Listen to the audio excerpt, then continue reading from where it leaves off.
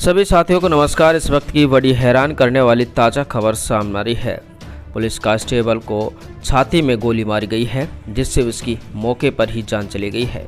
लहूलुहान अवस्था में वो पुलिस को ही मिला है। चलिए, क्या है पूरा मामला? देंगे इस खबर के बारे में आपको संपूर्ण जानकारी विस्तार से। दरअसल ये बड़ी खबर हरियाणा के सोनीपत से सामने आ रही है। हरियाणा के सोनीपत में सोमवार रात करीब 12 बजे के आसपास हेड कांस्टेबल को गोली मार दी गई है। रूकी गाँव के पास उनका शव खून से लथपथ हालत में मिला है। जानकारी के मुताबिक बताया जा रहा है प्रमोद ड्यूटी करने के बाद अपने गाँव जसिया जा रहा था। रास्ते में बदमाशों ने उसकी छाती में गोली मारी है और उसके पास मौजूद सामान को बदमाश लूट कर भाग गए हैं। चलिए, क्या है पूरा मामला? देंगे इस खबर के बारे में आपको और संपूर्ण जानकारी विस्तार से। दरअसल, जानकारी के मुताबिक, बताया जा रहा है, जैसे ही इस घटना की सूचना मिली, सूचना पर मौके पर ही एसीपी सोमवीर और बड़ौदा थाना क्षेत्र के एसएचओ रमेश चंद्र और साथ में फोरेंसिक टीम मौके पर पहुँची है। घटना की पूरा जायजा लिया है, लेकिन इस वक्त पुलिस को कोई भी सुराख हाथ में लगा है। पुलिस ने अज्ञात के खिलाफ आईपीसी की धारा 302 के साथ साथ अन्य कई मामलों में केस दर्ज कर लिया है और सबको मेडिकल कॉलेज कानपुर के लिए रेफर कर दिया है। जानकारी के मुताबिक ये भी बताया जा रहा था, रोहतक के जसिया गाँव के रहने वाले करमवीर ने पुलिस को बताया कि उसका चाचा का लड़का प्रमोद हरियाणा पुलिस में हेड कांस्टेबल है। उसकी ड्यूटी भी मोहना थाने में ही थी। रात को वो भैंसवान खुर्द पुलिस चौकी से फ़ोन आया कि उसके चचेरे भाई प्रमोद की गाँव रूखी से थोड़ा आगे चल के नीलकंठ ढाबे के पास किसी व्यक्ति ने गोली मार दी है। इसकी सूचना मिलते ही परेशान मौके पर पहुँचे हैं और उन्होंने पाया कि प्रमोद का शव रोड किनारे पड़ा है, उसकी छाती में गोली लगी हुई है। पुलिस ने बताया है कि प्रमोद रात को करीब 11 बजे के आसपास मोहाना थाने के जसिया गाँव जाने के लिए अपनी कार को लेकर निकला था। करीब थाने से 12 किलोमीटर दूर इस घटना को अंजाम दिया गया है।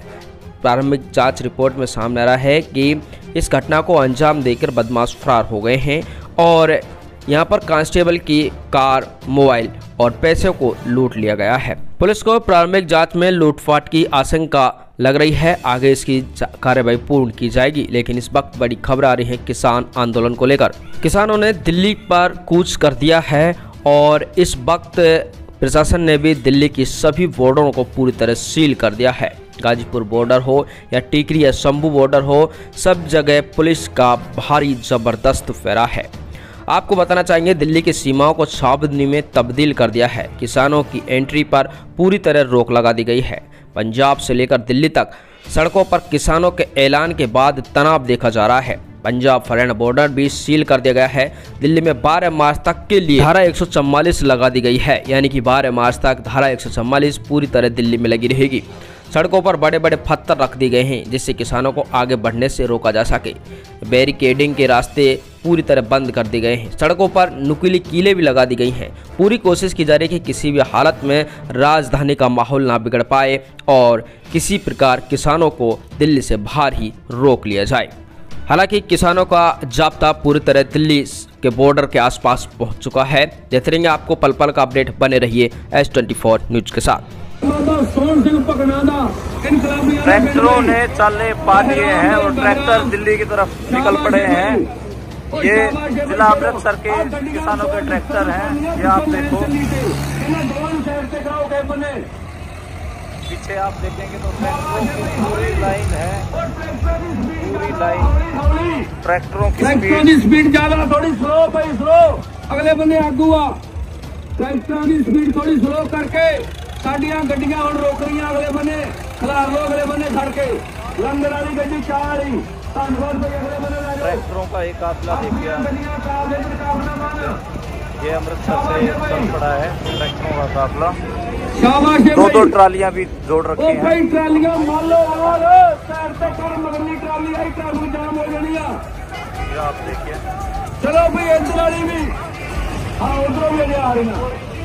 भी शुरू करा दो। अगे दे मगर बस ला दो। रब वास्ता बस थले ला दो। बस थले ला दो। मगर विक्ट्री साइन बना रहे हैं किसान। हाँ भाई बहुत बढ़िया काफले चल पड़े हैं ये आप देख लो भाई।